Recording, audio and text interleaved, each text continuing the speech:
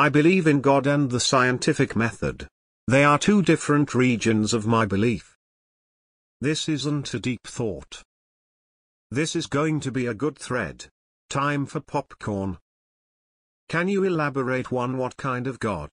What characteristics does this God have? Which God? None of them are real but humor my anti-religious ass for a bit. For me they are one in the same. The same thing. And the person who sums with up well for me is none other than Swami Vivekananda. An absolutely incredible being. I always just though the scientific method was how God created the earth. Likewise and this our better understanding of how God did these amazing things. When it was explained to me that no, these two thoughts don't mix. Well I stopped believing one of them. What if someone used the scientific method to unequivocally disprove the existence of any God? How would you react? There is a reason why over 90 of the top scientists do not believe in goddess. One either trusts the scientific method which requires rigorous proof or one thinks that faith in a hypothesis is good enough. I don't believe in either. Science requires no belief. It's all about doubt and proof. Yup. Both of those. No popcorn needed. If you guys like to inquire deeply into the nature of being, you may enjoy our Raja Yoga as well. Sorry if this is too promo-y. Many of humanity's most brilliant scientists were religious. Insane people in religions and the scientific community give their respective sides awful reputations. Absolutely nothing wrong with following science and following God. Religion has been the dominant manipulative force in Western society for centuries, now science is the new state religion. I freely believe the universe, and life by extension, is obviously the product of a scientifically explainable series of events, and that mankind through the scientific method has a pretty good, if imperfect, grasp on what is going on around us in the universe. But what gives me pause, and makes a tiny part of me believe in an indifferent higher power is the fact that anything exists at all. It is why I call myself an agnostic instead of an atheist. How my university bio professor, an atheist, broke it down science deals with empiric evidence of natural phenomena, religion is supernatural and therefore does not have empiric evidence. By virtue of this, one does not preclude the other without the intervention of human ego. When you actually study natural science closely, with real scientific methods rather than obscure speculation and unproven hypothesis, the complexity of life and creation makes things like mere chance or a Big Bang, where such highly advanced complexity and precision came from nothing, seemingly impossible. God is fantasy thinking. And faith is the way to stop you thinking logically. The two will merge one day. The Catholic Church has been doing both for centuries. 1. I value the testing and proving of the hypotheses.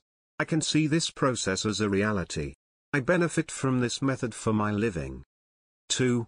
Even though the reality of God can't be proven, the methods of religion are not scientific in nature and the convincing logic that we are all physical beings whose brains are producing the concept of God, I still believe in God.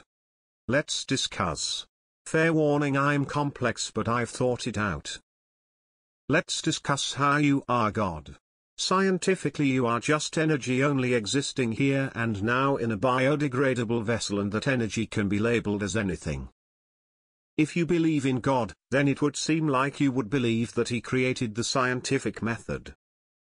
Frankly, as an atheist agnostic, I am fine with this as long as you admit there is no scientific proof for God and you don't try to contort poor evidence as proof. Faith, by definition, is belief despite evidence. If one wants to believe despite evidence then so be it.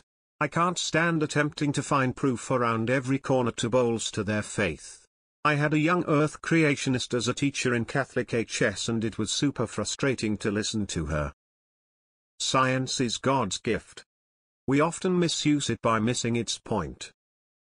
I don't get why people think science and belief in God conflict with each other. Probably because people have the misconception that God is a supernatural being. The truth is the supernatural would conflict with the all-knowing nature of God. because the supernatural would be something that cannot be explained. If God couldn't explain something then he wouldn't be all-knowing and thus not God. What is God to you? I'm not being facetious, genuine question. It's totally fine to believe in both. If you go deep enough you'll realize there are a crap ton of things in the world that cannot be explained for now. It's totally logical to think that there might be an entity behind all these. Ruling out the possibility that an entity higher than us is purely arrogance and stupidity, just like the people who blindly follow their religions. I'd advise you actually look around for little details in the world. You'd be amazed. And also I would recommend you to study other religions out there. May you find your answer and peace. Good luck. The scientific method to proving the existing God. It's the best way to view the world. Wow, this is so deep. I bet Stephen Jay Gould would have never thought to write about this. Is this cognitive dissonance? Cue the guy with the butterfly meme. But really, is it? You know how people got the idea of God? Not the scientific method. Thank you all for your messages for and against. I'm enjoying the discussion and I'm glad I sparked an interest. Same TBH honestly thought it was common. Those two can't coexist. You only believe in God, not the scientific method.